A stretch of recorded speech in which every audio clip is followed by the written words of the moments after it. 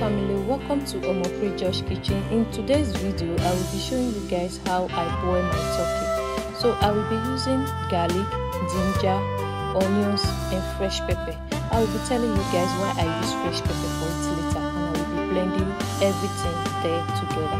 In the other plate, I have thyme, goya powder, Maggi cube, curry powder, salt, bay leaf and nutmeg that is what i will be using for the turkey so this is my turkey i just bring it out from the freezer and it's still block and i can't wait to defroze it and i just pour it inside the pot. You can see how i flip it in. So after then i pour my ingredients in.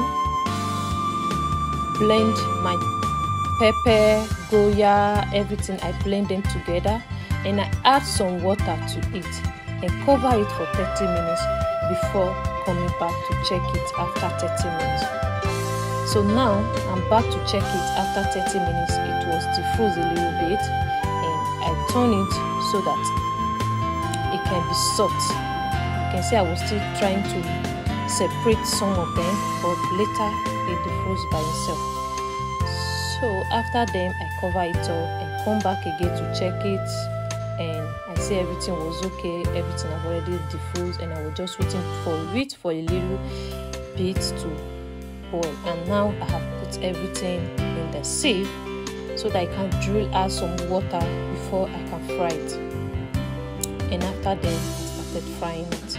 So let me use this opportunity to tell you guys why I use fresh pepper because I'm not going to use this for but you can still do that when you want to make stew. But I, I don't want to use it for stew. I, I just want to be eating it like that without putting it in everything.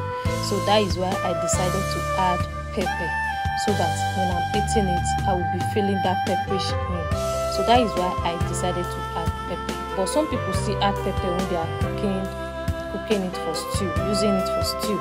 But I just decided to do that so now i just fry it to be brown a little bit. You can see and i added another one. That is how i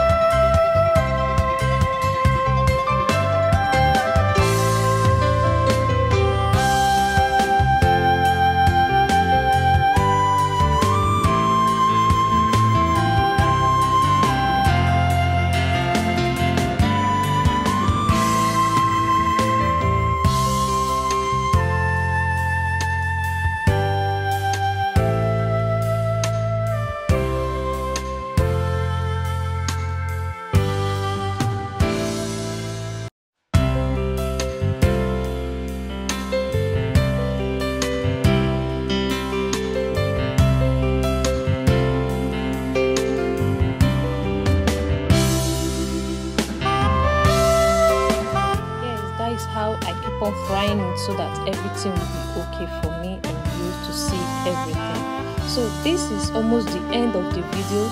I just want to appreciate you all for always subscribing to my channel, for always liking everything that I post on my YouTube, on my page, and I say God will richly bless you all in Jesus' name. Please, if you are new here, always subscribe don't watch alone, subscribe to support me and thank you all for always sharing my video and for always supporting me in any era. Bye bye and see you in my next video.